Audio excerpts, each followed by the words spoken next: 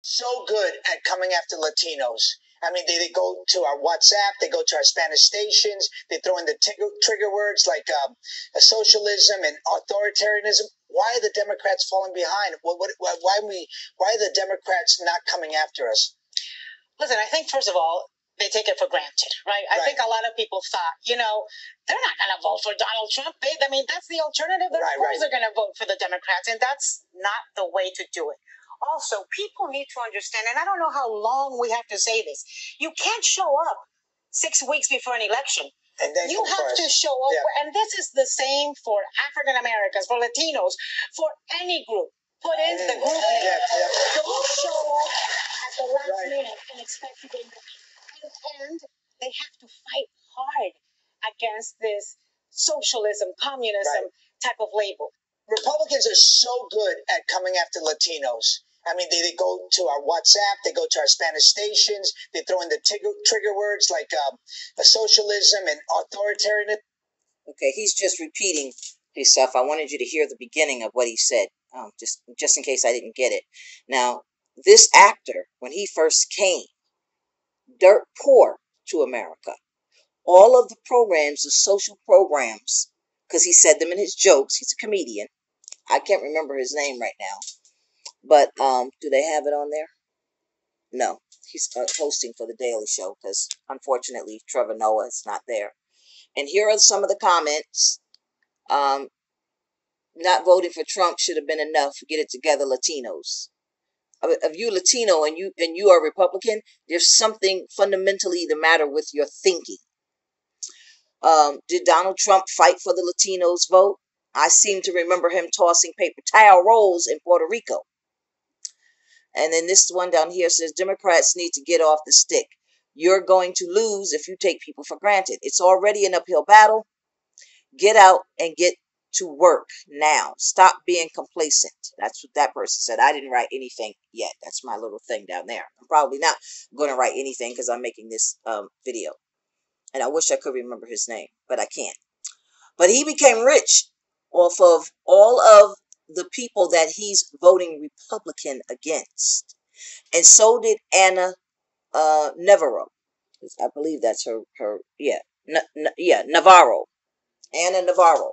These people, these Hispanics, these Latinos have. Why are the Democrats falling behind? What, what, why, why we? Why are the Democrats so, not coming after us? In case, Listen, I think first of all, they take it for granted, right? Okay. I right. think a lot of people thought, you know, they're not going to vote for Donald Trump. They, okay. I mean, that's. I don't like to leave people's mouth open and looking crazy.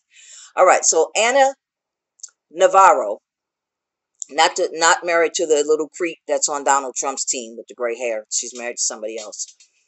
She herself is getting paid off of the money that we make when we buy the products that support her show to give her the multi-million dollar contract that she has. She's from The View, if anybody does not recognize her face. Um, so this always happens. They get their money then all of a sudden they're no longer Democrats, they're Republicans. And she'll swear to God she was a Republican forever.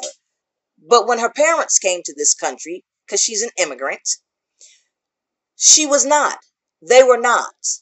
You know why? Because they needed the social service programs. Socialism should not be attached to social programs in their country, in those Latino countries, they had socialism where one person controlled their government stupidly and he robbed them. Whoever the president was, whether it was Castro or the other one, that's what socialism means to Hispanics. And like this person over here said, not voting for Trump should have been enough. Get it together, Latinos. If you're a Latino in America and you're still voting for a fucking Republican after they have shot and murdered and cut your babies down with AR 15s and bombs and whatever else the fuck they're using, that you keep killing your own kids. You are murdering your kids. You are murdering your husbands and your daughters and your wives because you keep voting for Republicans. It's okay to have a gun in your house. But we know now what these people are doing. We know that they're getting the guns for the specific reason of going to a school or going to a bank and shooting you motherfuckers. So why are you still voting for them? So, like this person said, not voting for Trump should have been enough. Get it together, Latinos. And this person down here that says we need to do more, we we need to that the Democrats need to do more. What more do, do you want the Democrats to do except for highlight what's going on and repeating it after to time after time after time?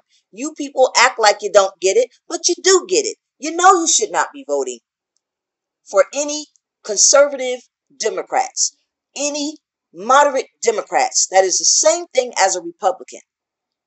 They vote when they pass bills to spend our money, millions of dollars in these foreign countries. They're voting on that together. I'm not excusing the Democrats that's doing that. And you always hear the progressive Democrats say, no, there's programs here we could be using that money for. And you go right out there and you pick the motherfucker that's taking our money and sending it to another country.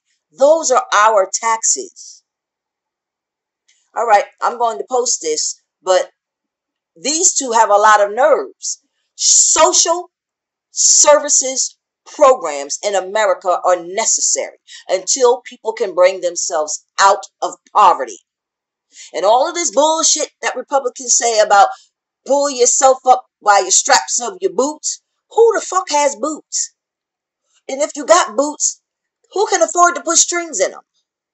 See, that's where the majority of 60% and the 23% that are homeless, that's where we need to get together and vote against bitches like this that's sitting on her ass millions of dollars off of the taxpayers' money and off of the purchase power of the American public. We have made her rich. And she's voting for Republicans so she don't have to pay taxes.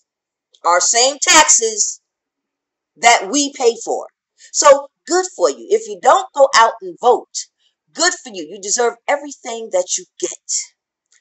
Have a nice day.